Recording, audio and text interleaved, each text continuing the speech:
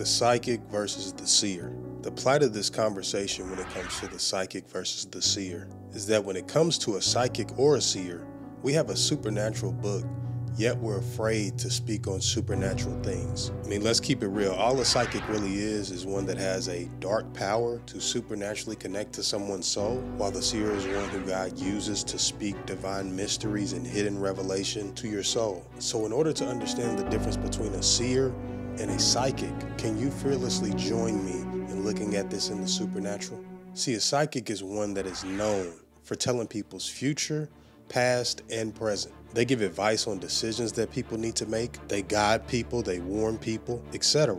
Sure, they might have a full curriculum, they might have a workflow, but very few ask this right here What is their source?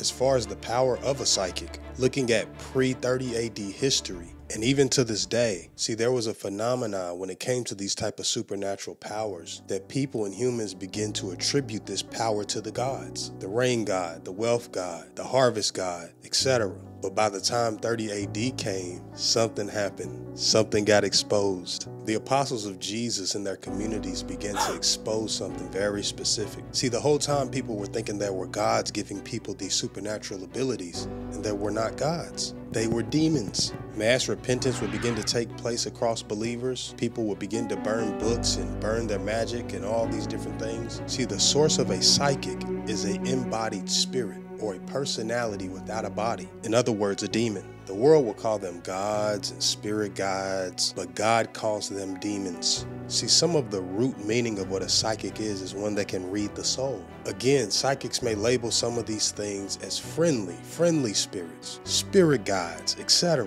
while a seer will call it a familiar spirit. Contrary to a psychic, a seer is one who is holy according to the Bible. In fact, 1 Samuel 9 and 9 Prophets used to formerly be called seers. Seers are those that get an abundance of visions and dreams throughout the Bible. Seers are those that are raised up by Jesus himself in the New Testament, and their goal is to mature and construct people to be strong and spiritually healthy in Christ, many times by means of supernatural revelation that comes from God himself. See, no doubt, the seer and the psychic both live in a supernatural lifestyle, but they have two different sources in the supernatural. And because of the source difference, the motivation is different. A top function of a seer is to speak for God, and they get under the influence of God's spirit and share what God thinks and even how God feels. While a psychic's goal is to connect to someone's soul and to draw them to their so called wisdom or their spirit guide or some foreign God or even just to connect to their own soul, just to know information. Two completely different motivations. One thing that can't be denied though